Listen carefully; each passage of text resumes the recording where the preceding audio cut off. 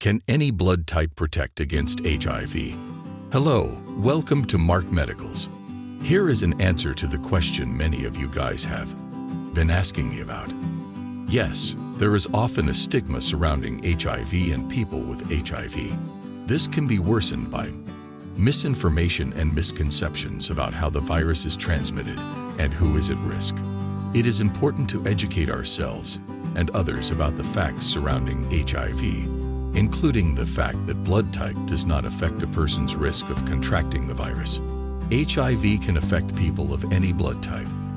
All blood types are equally susceptible to infection by HIV. HIV damages the immune system and weakens it, decreasing the body's ability to defend against infections and diseases. Sexual contact, sharing of needles, and the passing of the virus from an HIV-positive mother to her baby during birth and nursing processes are the most common routes of HIV transmission. Antiretroviral therapy is a method of treating HIV that can stop the virus replication and extend the lives of those infected with it. But unfortunately, HIV cannot be cured at this time. Everyone should take precautions against contracting HIV, such as always using a condom and never sharing needles. Can blood type O get infected with HIV? Yes, people with blood type O can be infected with HIV. HIV is a virus that attacks and weakens the immune system, regardless of a person's blood type. What type of people doesn't get HIV? Just like I said earlier, all blood groups have the same probability of getting infected with HIV. But some people who have gene disorders in their T lymphocyte cells are resistant to HIV. For you to be infected, the virus has to bind to the CD4 cell receptor and then CCR5 or the coreceptor. HIV first binds on the CD4 cell receptor, and for infection to occur, it also binds on the coreceptor.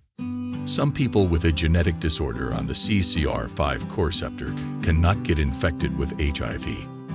This is why people who have received a bone marrow transplant with the genes that have this defect are cured completely of HIV.